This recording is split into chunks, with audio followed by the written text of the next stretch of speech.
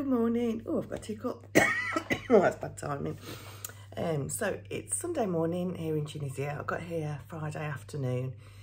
Um, and today I've got a trip that I booked before I got here um, to the El Jem Colosseum.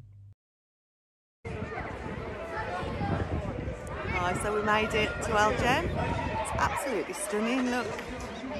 I don't let that sunshine fool you. It's still really chilly. But then I guess that's February in Tunisia, isn't it?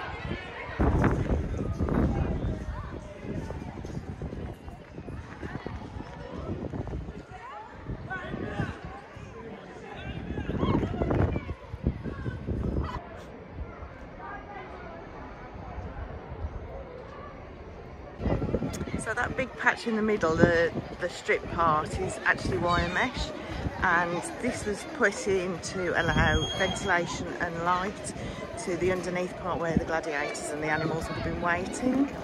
And then we have where those boys are standing actually there's a square and there's another one in the middle of that great school party. And they're the openings where the animals would have been lifted up by slaves ready for the fight so I'm just going to go downstairs now to where the gladiators and animals would have waited. Let's see. I assume we're allowed down here. There's no nothing to say you can't.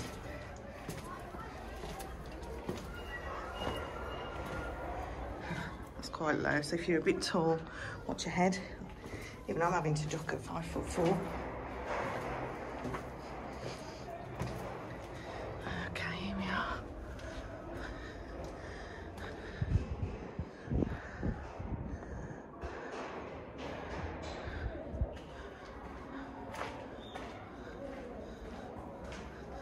So this part here, there are a few electric lights, but I would imagine back in the day, if you were a gladiator waiting down here, it would have been really pretty dark and very scary actually.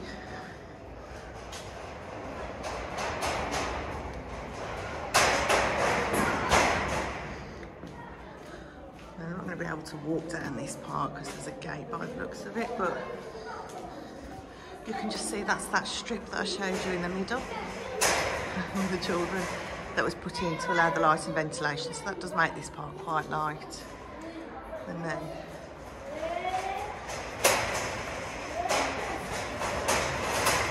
you know what, it's just one little gate.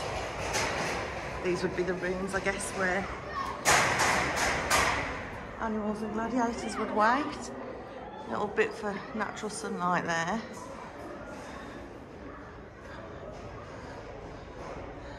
And these would be the rooms where they would wait to find their fate.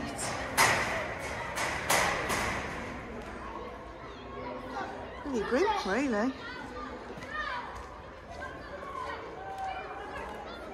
I'm just looking to see if I can find the ones with the things where the, yeah, there we are. Here we go. So, this is what I was looking for. So this is where the animals would have been lifted manually by slaves up into the amphitheatre. I don't really think I'm supposed to be in this bit, so let's get back onto the actual path. Oh no, there's others doing the same as me.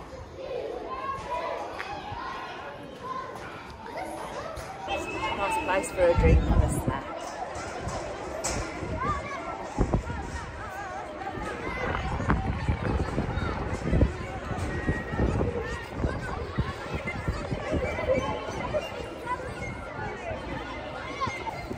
Right, let's see where next. I think I might try and get over to this part. I've not been up there yet.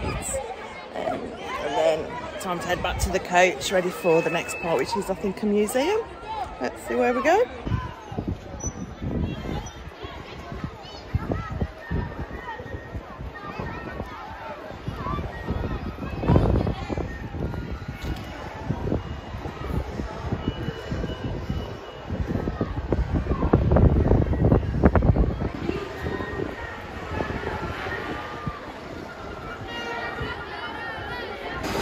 back to the coach now. Hopefully I don't get lost.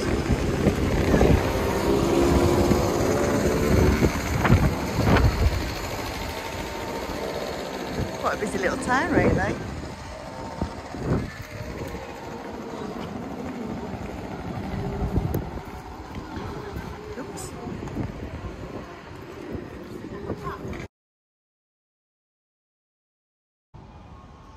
So just at um, a Roman museum, just across from the amphitheatre.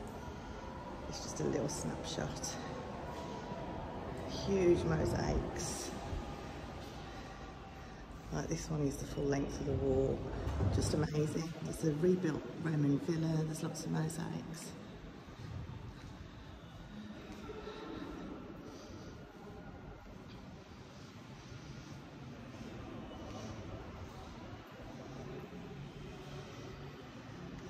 And this is a follow on from the trip to the Colosseum. It's all part of the same trip.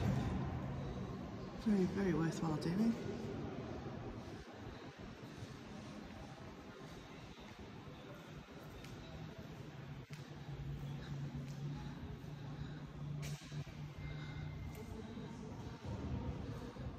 Oh, look at the size of that. And the detail.